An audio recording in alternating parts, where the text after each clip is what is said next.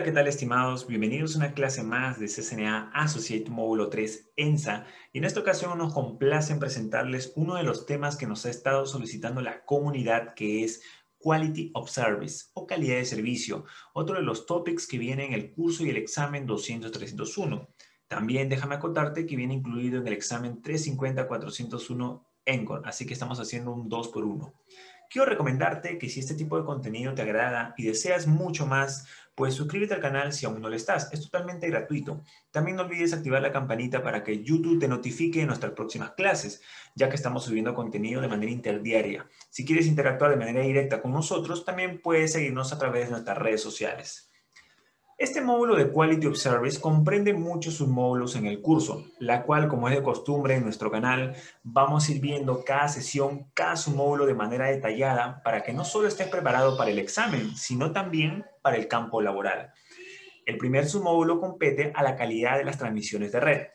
Antes de iniciar, quiero mandar un cordial saludo a nuestro instructor Ratu Quesada Laucha, quien es nuestra interfaz entre el equipo de Wild Academy y las comunidades. Así que, sin más preámbulo, ponte cómodo y empecemos. El propósito de la calidad de servicio. Veamos. En una red sin calidad de servicio vamos a tener el siguiente comportamiento. Todos los paquetes que se reciben en un equipo intermediario, por ejemplo, un router, van a salir de este dispositivo en el orden en el que ingresaron. Esto es un comportamiento usual. Sin embargo, como sabemos, las redes hoy en día son convergentes. Quiere decir que estos paquetes pueden pertenecer a diferentes tipos de tráfico. Por ejemplo, datos, voz y video. Sin embargo, hasta ahí no hay ningún inconveniente. El tráfico es fluido. No va a pasar nada negativo.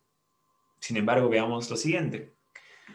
Cuando hay una alta demanda de consumo ancho de banda por parte de los usuarios finales a través de sus dispositivos intermediarios, Estamos hablando entonces de que se está generando mucho tráfico en la red, tráfico relacionado con muchos paquetes. Y si agregamos a esto un mal diseño de red, por ejemplo, una interfaz de ingreso de un gigabit y una interfaz de egreso de 100 megabits, sí, que no te sorprenda, existe ese tipo de escenarios. Pues estamos hablando que se va a generar una congestión, agregando a una gran demanda de paquetes que el router tiene que procesar.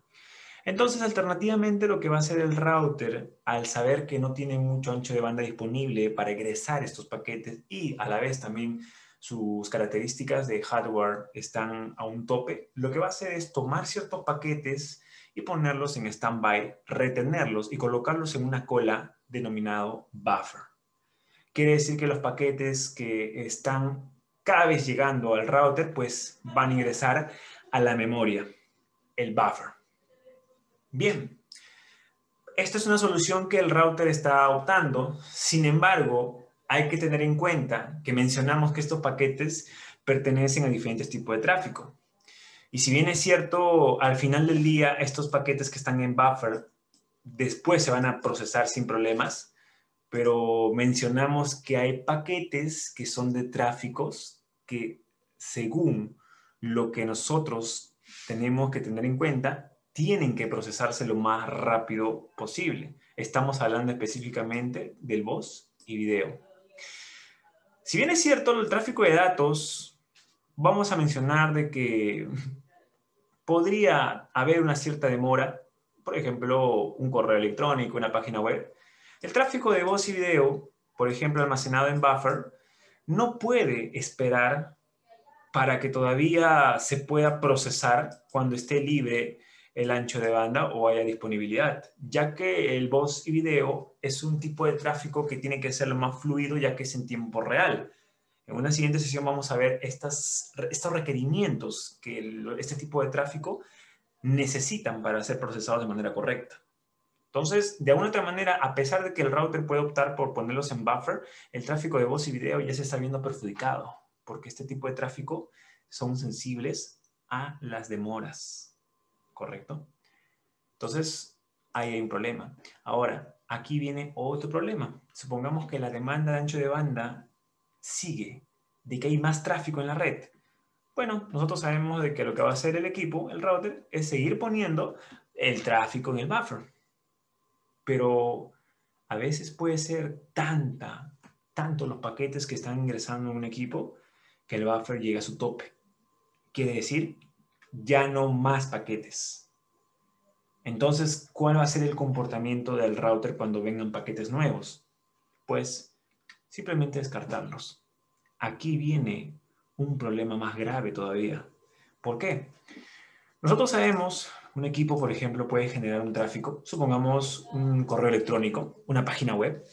El tráfico de datos descartado no se va a ver perjudicado.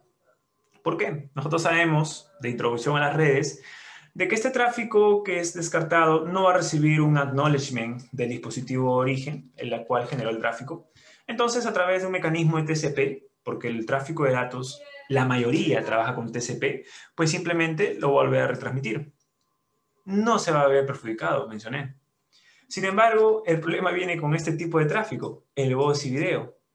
Supongamos que esto fuera una conferencia en línea su Webex o tal vez un teléfono IP que está en plena llamada, el tráfico de voz, ellos, como ya sabemos, no trabajan con TCP, trabajan con UDP y por obvias razones. Tiene que ser el tráfico lo más ligero y fluido posible.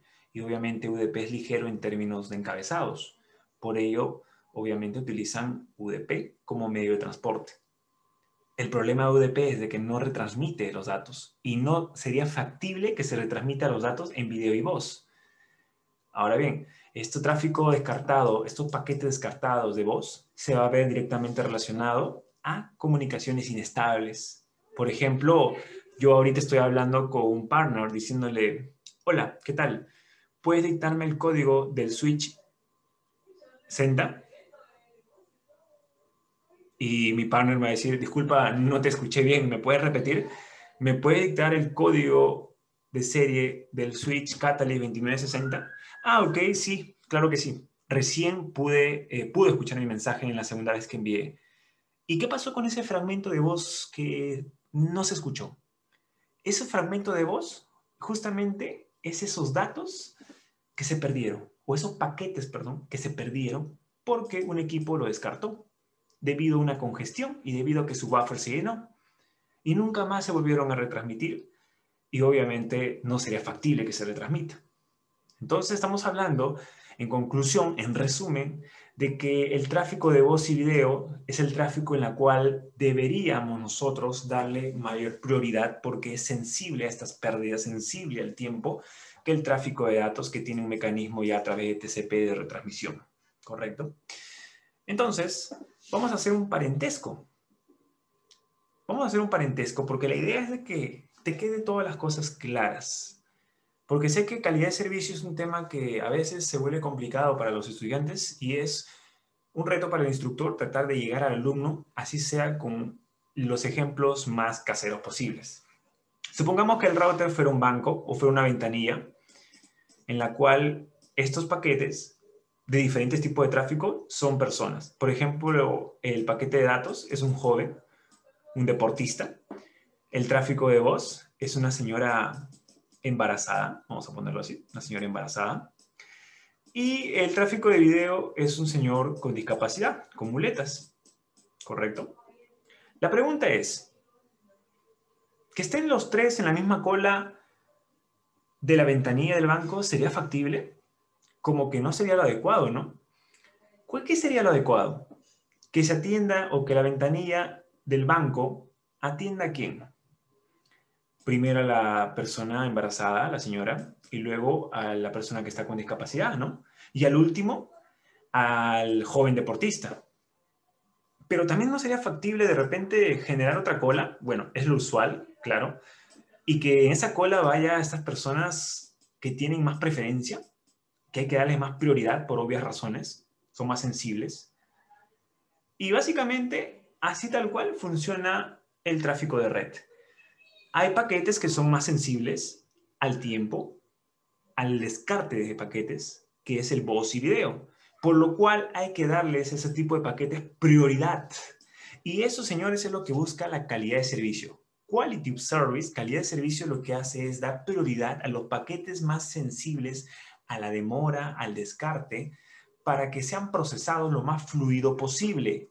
y, no, y, pueda así generar el, generar el tráfico de manera óptima que va relacionado a una llamada telefónica, a un streaming de video, ¿no? una conferencia en línea, que son tráficos que deberían ser lo más fluido y es lo que denominamos nosotros tráfico en tiempo real.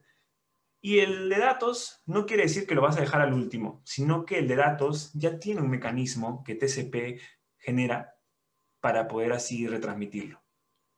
Entonces, en conclusión, señores, Quality Service lo que va a buscar es dar prioridad al tráfico que es más sensible y que es más, vamos a decir, que requiere que su tratamiento sea lo más fluido posible. Entonces, vamos a lo siguiente, a la priorización de tráfico. Aquí es lo que hemos mencionado. Entonces, una de las técnicas de calidad de servicio es clasificar los datos.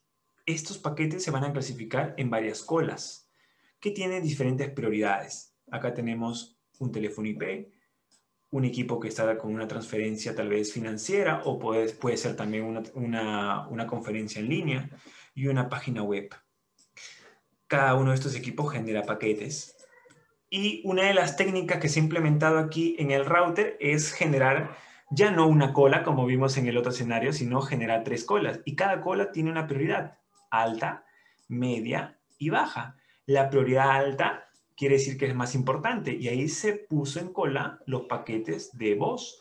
La prioridad media se puso los paquetes de video o en este caso de una transferencia financiera también. Y el último de prioridad baja se puso los paquetes de página web o de correo electrónico.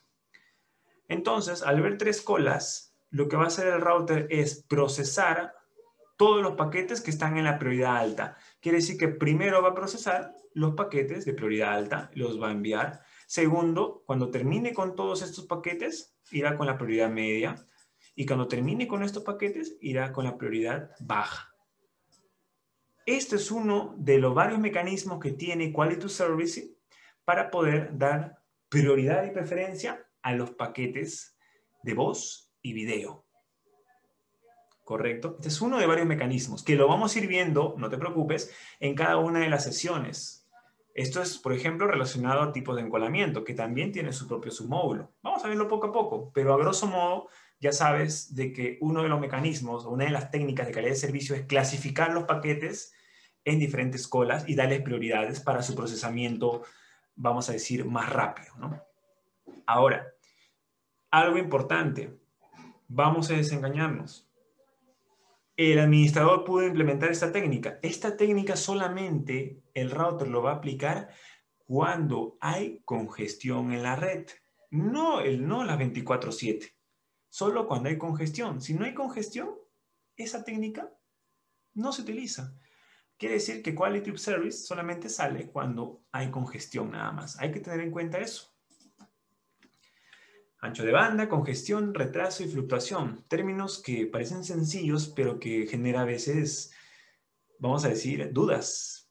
Y que usted, para este módulo, tienes que aprenderlo porque durante todos los submódulos lo vamos a mencionar. Veamos.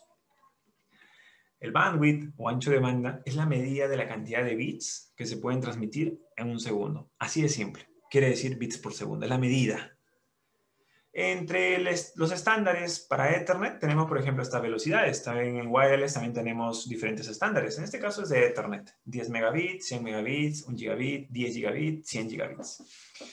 Eh, obviamente cada uno se conoce con un nombre de Ethernet, Fast Ethernet, Gigabit. Y quien no se ha familiarizado con esto cuando configuramos un router y entramos a su modo de configuración de Fast Ethernet, Gigabit Ethernet y sabemos que tiene una velocidad ya determinada, ¿no? Entonces, esa velocidad van relacionadas a eso. Déjame acotarte que no te confundas. Si te percatas aquí, mira cómo está escrito.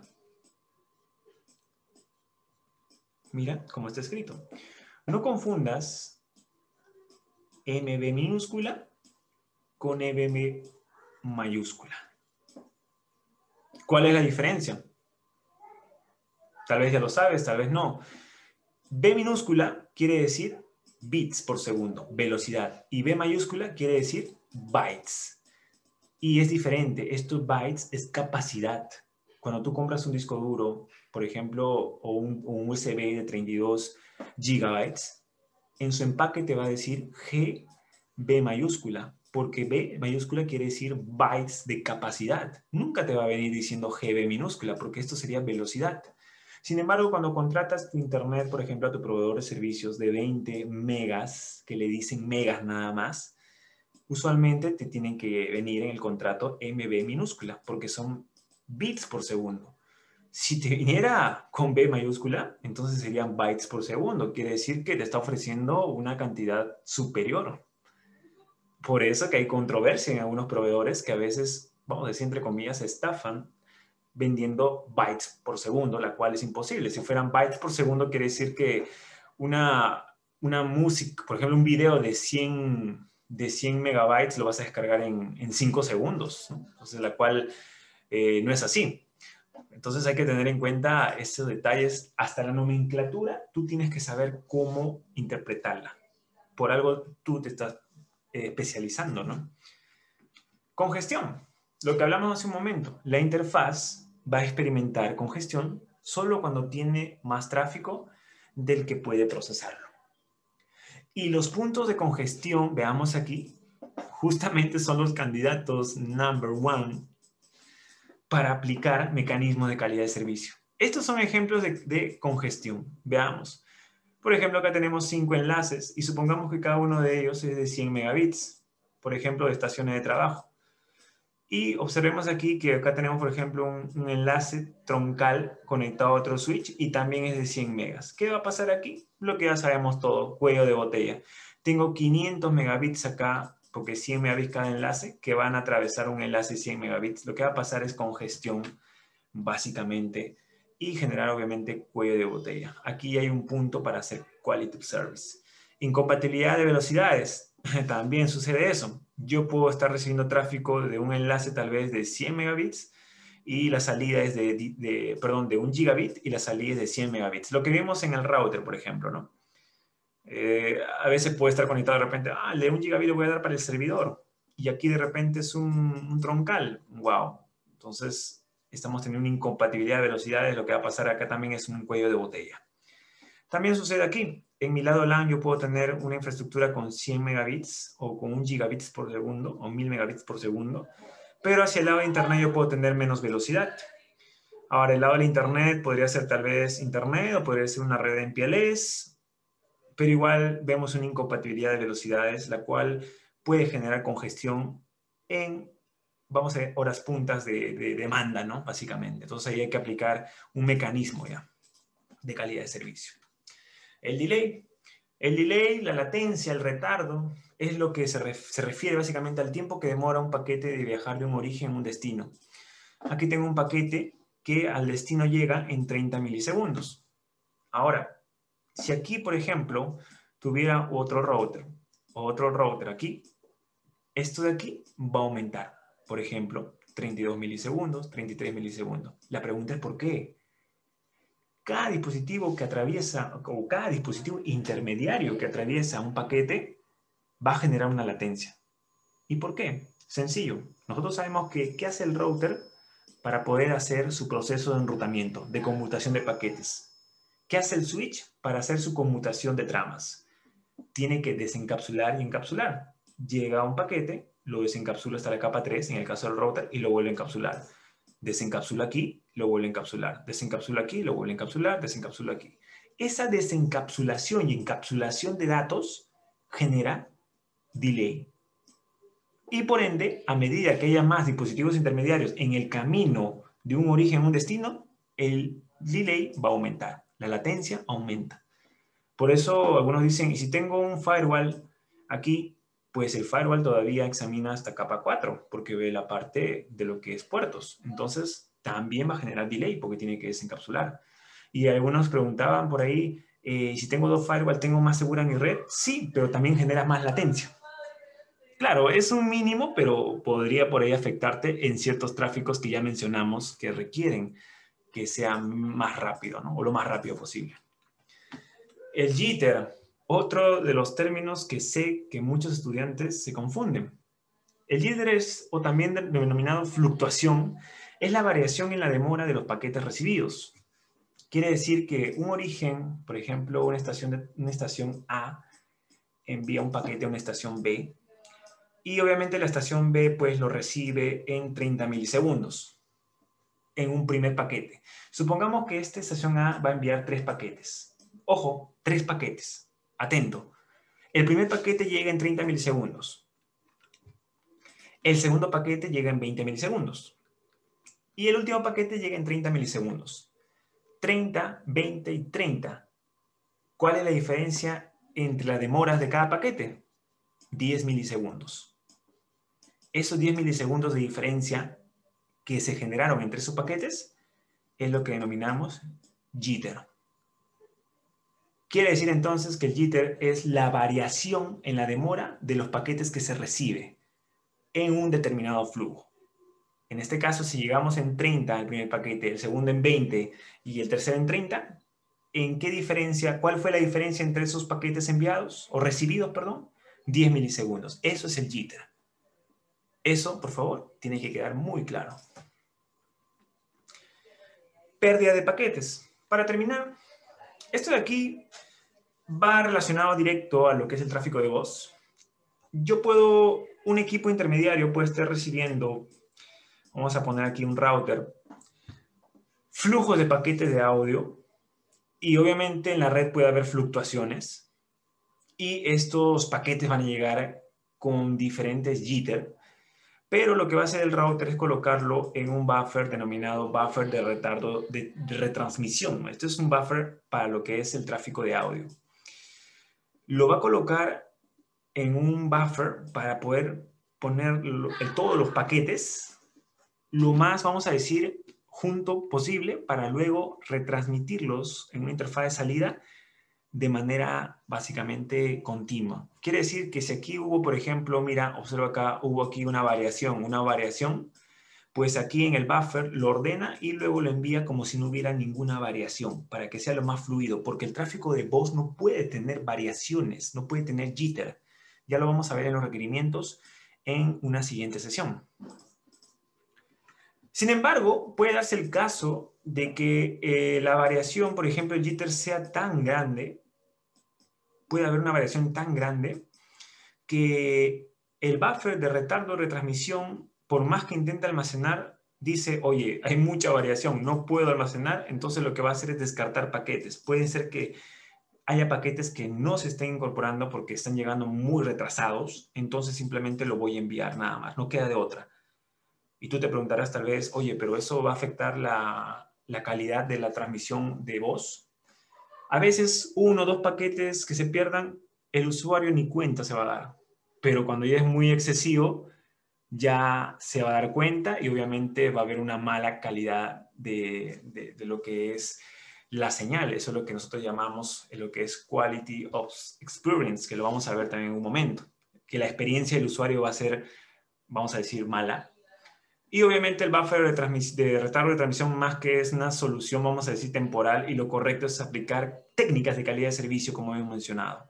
Eso aquí vamos a ir viendo más adelante, incluso las técnicas, poco a poco, esto de aquí solo ha sido eh, los conceptos que tienen que quedar claros porque de aquí lo que viene más adelante empieza a subir un poco el nivel de lo que es estos temas de Quality of Service.